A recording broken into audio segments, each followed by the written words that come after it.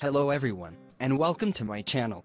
In this video, I explain to you how to create a GPO and apply it to domain users for deploying a shared printer, where you can use group policy to deploying your printer that works with USB cable and not a network printer. And I will show you how you can do that. For example, I have a local printer and I want domain users to use it. This is my local printer and I want to deploy for domain users. First, you must share the printer. Double click on the printer. Then click on the printer, and from the menu click on Properties. Then click on the Sharing tab, then check the box for Share this printer. You can change the name, or leave it as it is. Then click on Apply and OK button.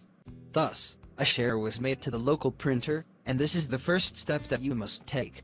The next step is to create a GPO to deploy the printer to domain users. Open Server Manager, and from it, click on the Tools menu, and from the menu, click on Group Policy Management. And after opening Group Policy Management, right-click on the Group Policy object, and from the menu, click on New. And in the new GPO window, enter an appropriate name for this policy. And then click on the OK button. Then right-click on policy that was just created. From menu, click on Edit.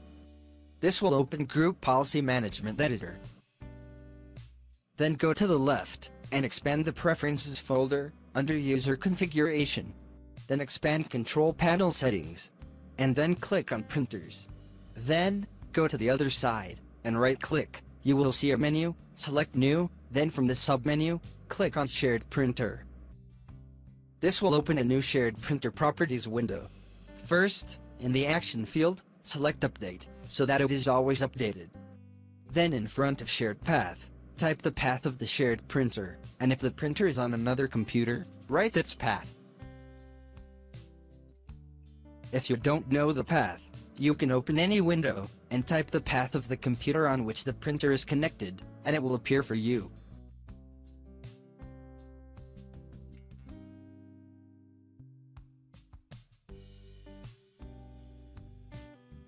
Copy the path to the printer, then paste it in the shared path field, and make sure the path is well.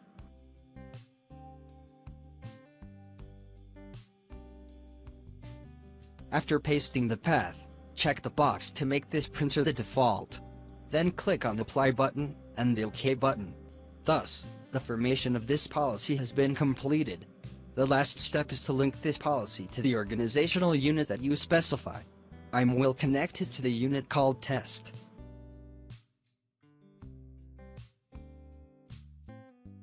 Now we will move to one of the client's computers to try sharing the printer in this way.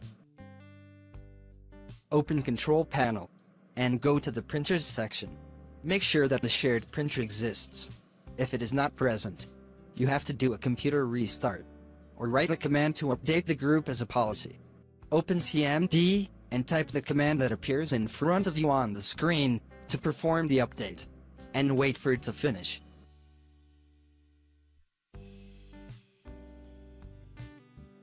After that, the shared printer will appear on the client's computer, and you can use it.